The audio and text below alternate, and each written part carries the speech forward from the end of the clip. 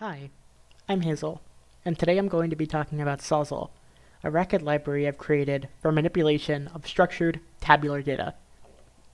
First, we'll take a look at how Sawzall acts on some standard datasets. In particular, to start off this talk, we'll take a look at the General Social Survey from the year 2016. This data has various individual level preferences about different people. For example, we know that there is a male in the Northeast that is between the ages of 34 and 49 by looking at the first row. Let's say we want to get the percent religious preference by census region.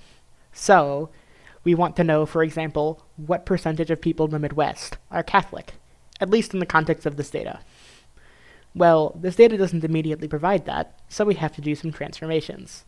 First, we start off with our individual level data, and then we want to summarize it down to count by region of religious preferences. So, we take all of the Midwest Catholics and turn them into a single number representing how many there are. Then, we would take those and turn them into our desired percentage by taking them and dividing them by the total. So how would we do this with Sawzall? First off, we load in our data with a threading operator, which effectively acts like compose, and then we group it with respect to big region and religion.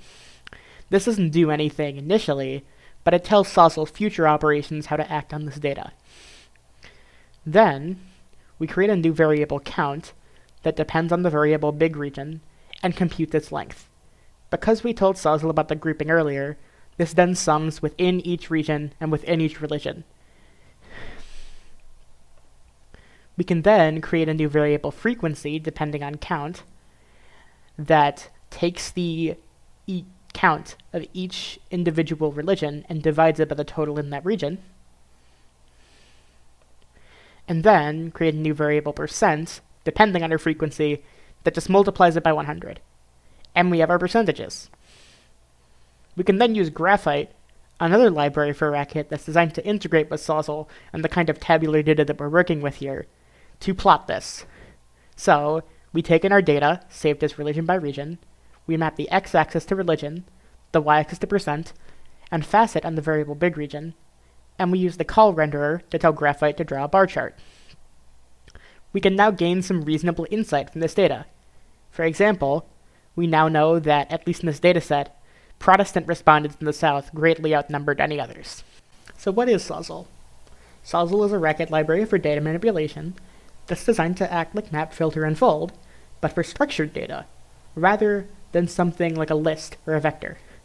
It's designed to be compositional, using the threading operator, which is effectively just compose. It's inspired by the R packages dplyr and tidyr, part of the tidyverse, an R software package created by Hadley Wickham for data science. So what is tidy data?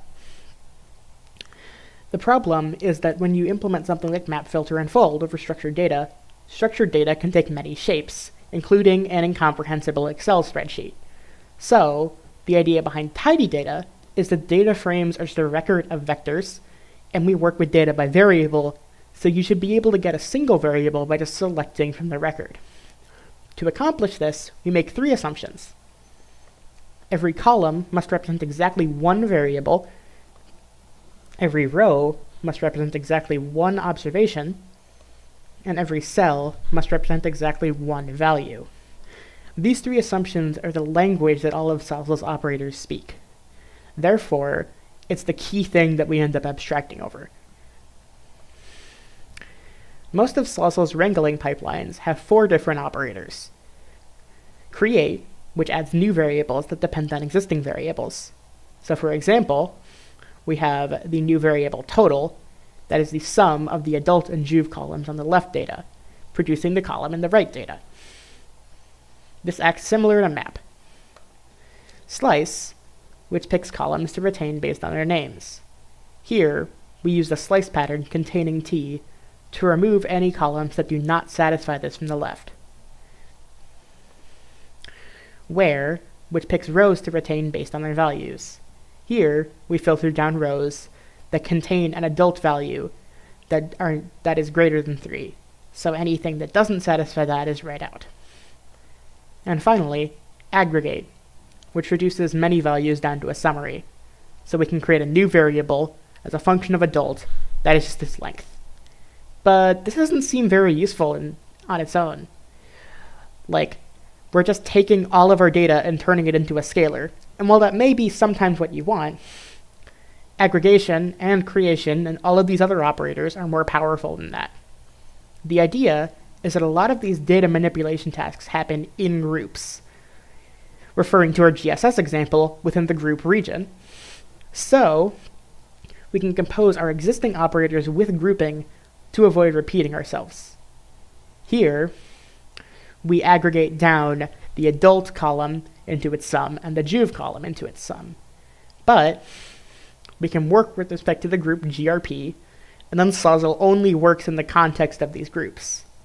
In addition, these groups stack, so if we add another group TRT, Sawzall will then permute on all of the possibilities of these groups. Next, we'll take a look at what happens when you get data that's out in the wild and maybe not as good as our GSS example. In particular, our GSS example was actually pulled straight out of a data science textbook.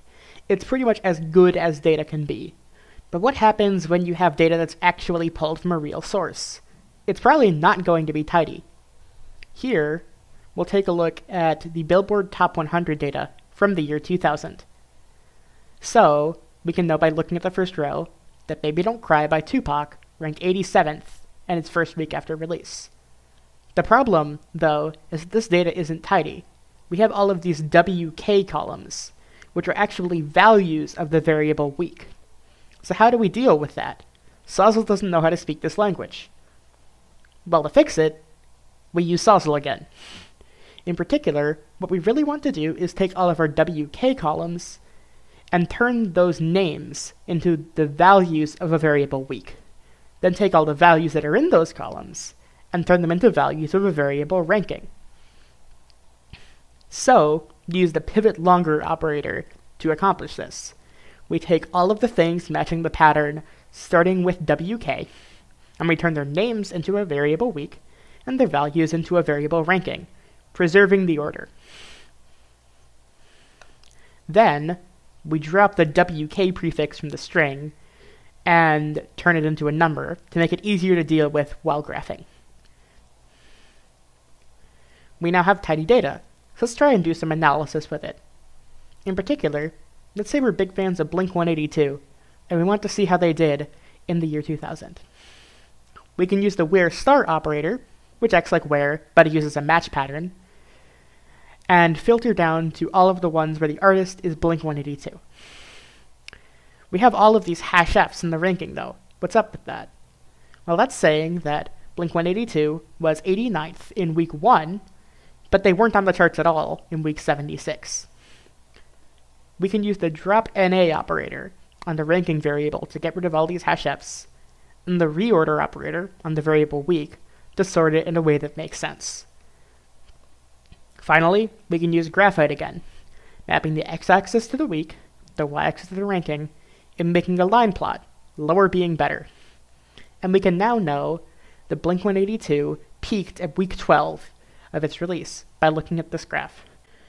So, similarly to wrangling, tidying data has four key operators. Unlike wrangling, though, these are more like families of operators, rather than individual runs. In particular, Perhaps the most important is the pivot operator, which changes the shape of the data to be longer or wider.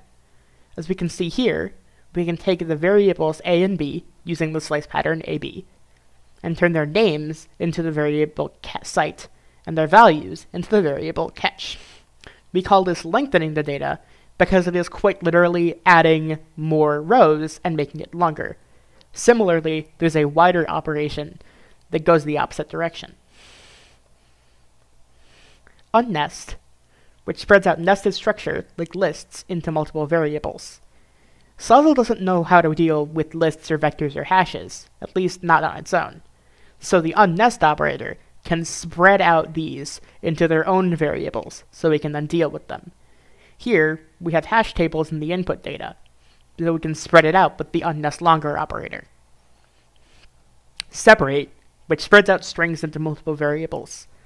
For example, if you want to do date processing, you could use this to parse down the date into multiple year, month, day variables, and work with it from there. Finally, reorder, which sorts the data according to some variable or comparator. Here, we take the data on the left and sort it backwards by the adult column. Finally, let's take a look at how Sawzall works under the hood. In particular, most of Sawzall's individual operators are actually macros, and all of them, function or macro, have the signature data frame to data frame or some kind of wrapper structure, like a group data frame, to represent grouping.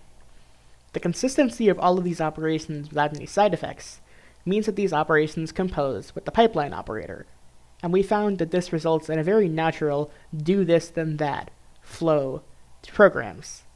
In addition, Racket is really good at writing down what you want to write and figuring it out later. In particular, aggregate and create and all of these forms have syntax that doesn't really follow Racket's standard model. But we don't care. We can just write down whatever we want and then make macros do the heavy lifting later. Ultimately, I found that this meant that I could express what I wanted to in the most ergonomic way I could, and then work it out later. In addition, Sawzall uses a lot of these things called syntax class DSLs. Racket preaches language-oriented programming, but sometimes you want languages within Hashlang Racket, without having to use a separate one. Syntax classes from syntax parse let you parse embedded DSLs at compile time. Sawzall uses these extensively for various operators that actually speak their own domain-specific language, namely the slice operator, which follows the grammar you see here. As you can see, some of these actually have conflicts with racket functions, but we don't care. At compile time, we use the syntax class called slice spec, and it takes all of our slice patterns and turns them into a structure that a regular function can take. In particular, we parse everything to everything s, and containing to containing s, etc., and it's all defined as a recursive structure. So what's Sawzall already good for? Processing small in-memory datasets, like the ones on this talk, or the ones on the right, which represents New York City flights in 2013, already works pretty well. In addition, basic relational processing, like joining data, works very well as well. Basic data science tasks can be completed, including the overwhelming majority of introductory textbooks, like Hadley Wickham's book, R for Data Science, in conjunction with the math library. In addition, I've been kind of hand waving around Graphite. Graphite's this whole other library created to work with this for visualization, and there's also a Scheme workshop talk about that if you'd like to know more. With future directions for the project, feature parity with R and the tidyverse is a non-goal. Those projects have had a ton of time to develop, and ultimately, features will be added as people want to use them. In addition, performance still leaves a lot to be desired, which is why processing very large datasets may not be a great fit right now. This also works super well when working with a single data frame, but relational data, like joining, could work better and more fluidly. Finally, Sawzall is currently dependent on Alex Harsanyi's data frame library, but ultimately we're not really relying on any of the specifics, and it could be abstracted away from it. This could be a generic interface, possibly even interfacing with real databases or other means of storing tabular data. Sawzall is more generally useful than just the examples and anecdotes I've shown in this talk. If you'd like to know more, please check out our GitHub repository and guided tutorial. Thanks to Kieran Healy's excellent data visualization textbook and Hadley Wickham's R for Data Science textbook for providing a plethora of examples, not only for this talk, but also to benchmark Sawzall and Graphite against. Thank you for your time.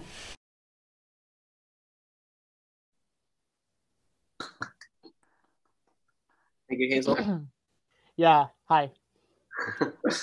um, so Hazel, let's start off. Can you tell me like why you decided to make this project? I mean, um, I, I feel like you've you you know you you showed why it's cool and what and what it does, but like uh, why why do you personally care about this?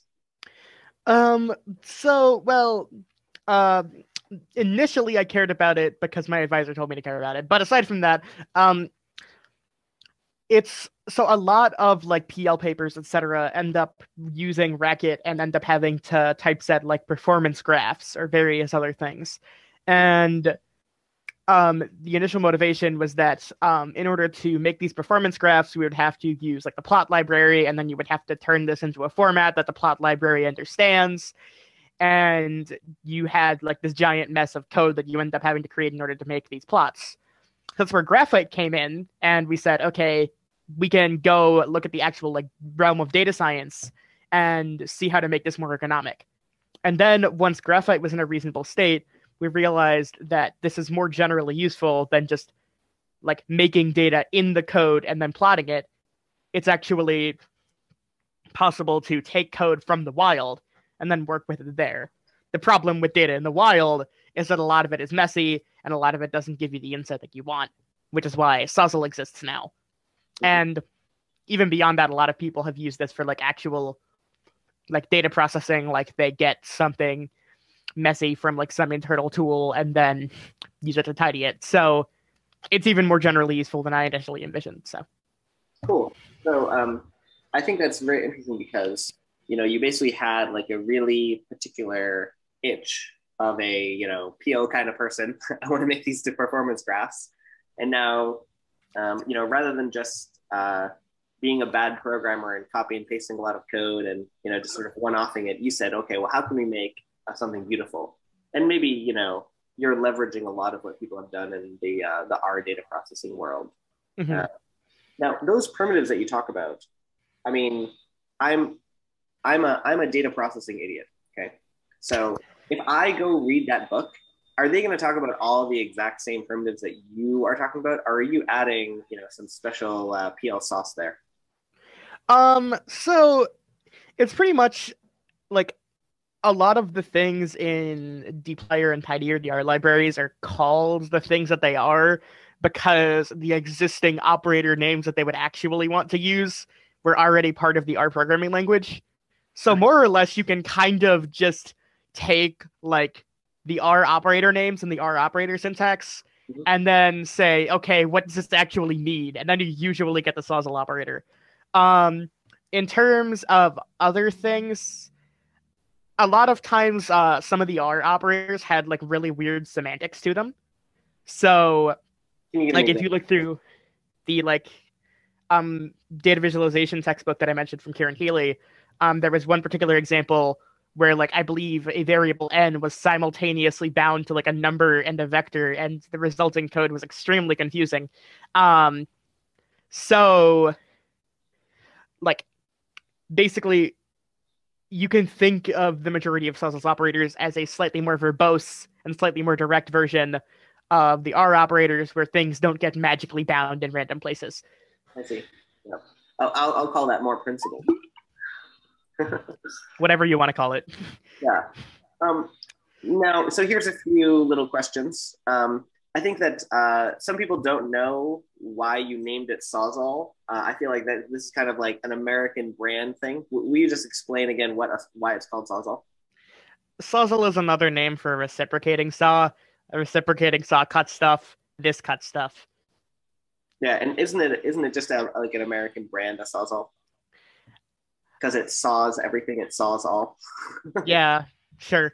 Um, it was actually Sam TH who came up with the name for this. Yeah. I came up with the name for graphite, uh, but he came up with the name for this. So maybe probe him for more questions on that one. But my my wife loves her sawzall. It was uh it was one of you know the best uh, best Mother's Day gifts I ever got her. Um, now, uh, is there any hope for doing this in a typed way? And what would that even mean to do types for something like this. Uh, so for instance, obviously there's like data frame is just a thing, but then, you know, I imagine that there are certain primitives that you use that would break if the data wasn't formatted correctly. Is there hope of doing it so that that is a typed interaction? I have uh, actually this is a question that I already got, and the answer is I feel like the definition of what tidy data is, despite the fact that I give it as these invariants, right? Um, ultimately, there's not really a good way for a computer to look at data and say this is tidy or this is not tidy, aside from like having lists or vectors and hashes in it, then you could maybe automatically expand that. But I don't really think that there is a good way of getting a computer to recognize that. Like for example, all of the WK columns and like the billboard example, there's no reasonable way without like I don't know like random machine learning garbage or something weird um to tell the computer like these are actually values of a variable rather than actually being the variables that you want. So in short, I have no idea. Uh but So I feel like you answered the question, is there a like type directed or generic way to automatically do some of the things that Sawzall does?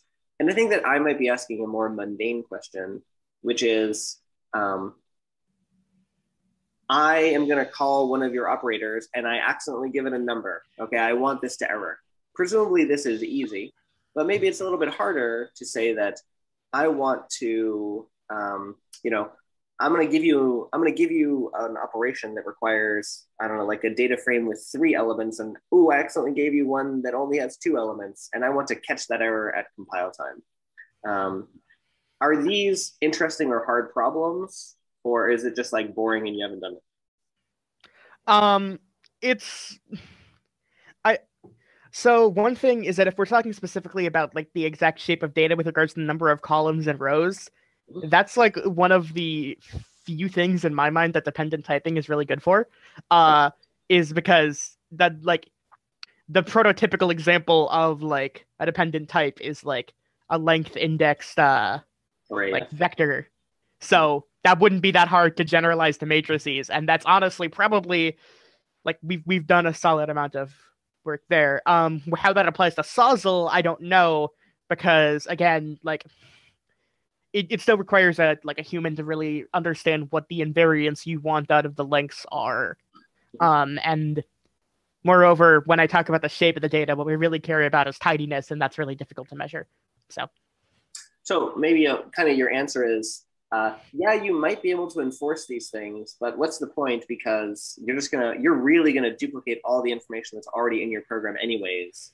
And the whole point of this is that you're kind of doing some sloppy uh, you know tidying up in the first place. And type you know type based programming has this uh, you know idea where you're doing a lot of thinking beforehand about what it is and that doesn't really work with tidiness. Mm-hmm. yeah i kind of feel like of tidiness but not the input to tidiness. Yeah. I kind of feel like the a lot of the point behind this is the, the kind of exploratory data analysis that you might want to do. Like you might want to just like throw some ideas at your data and figure out what happens. And the amount of pre planning that goes into having to write up a specification and a type would be. But I'm not going to say that it's impossible to do this in like TypedRacket and then have like all of that work. It's just that I haven't done it. So. Yeah. Okay. Now, one of the things that you mentioned is, is that, you know, it's not performant for big inputs and that kind of thing. Like, what is the reason for that? Is it that, like, R does some really cool uh, thing. You know what I mean? Like, is it like a deep reason? Is it a boring reason? Is it something that you care about fixing? Can you kind of, you know? It is. It is uh, something that I care about fixing. Ultimately, I feel like, um, first off, um, again, like the R and Julia library is for similar tasks. I've had a lot of time to develop, and I haven't, and that, and also I am ultimately a second year undergrad and I am not great at optimizing things. Uh, but I do think that it's something that could definitely be resolved. Um, I also feel like there are probably maybe more clever ways of storing the data internally, or maybe more clever ways of not having as many intermediaries. Like, especially when doing stuff with groups, there's a lot of copying that ends up going on in the background. So I'm hoping to maybe reduce that and do stuff in place. But yeah. Like there's nothing inherent to it that makes it unperformant. It's just that there is optimization that needs to be done, and I am busy. But so, um, it would this be a valid way to characterize what you said, which is that you haven't really tried to optimize it? You know, you weren't trying to be dumb, but you haven't also said, okay, I'm going to do this amazing cool optimization. And let's say, for instance, if we look in R, like I don't know, maybe we know that the data is only loaded one time into one giant matrix. And then what really gets passed around are like slices that record you know where to go look in the original data and you're not doing any cleverness like that you're just actually you know manipulating lists of stuff and so you're kind of doing it in the most obvious way and it's unsurprising mm-hmm. that that doesn't isn't performant yeah, I mean that's part of it. Although funny thing you should mention the slice stuff with regards to like grouping because that is actually something that I do. But uh it's yeah, there's definitely just I, I feel like most of it is just there's too much copying going on. But hmm. yeah. Now, uh, do you think that the do you think that the the type question is related to the performance at all, or do you think that's just a, a red herring? I don't know. By the way, is that R they're not typed right. Uh, yeah, they're they seem like a big giant hack job. So I would not anticipate that uh, pervasive use of types is what uh, is what is helping them. Yeah, and that and like the Julia library, which is occasionally more like convenient than like or not more convenient, not like more performance than the R library words. Um, that is quote unquote typed, but again, they're not really storing any tidiness information. They're not really storing any uh like dimension information like in the types. Um, so and they're still relatively performant. So I don't think that that's the approach that I would want to take, though it is definitely an interesting one. Well, cool. Well, thank you so much uh, Hazel. Uh, I'm gonna clap for the whole audience now. Uh, you guys can all, uh, you know, send clap icons, uh, which people are doing. Well, um, I feel so appreciated. you know, you, you gotta look at the YouTube log later, and you'll see everyone clapping.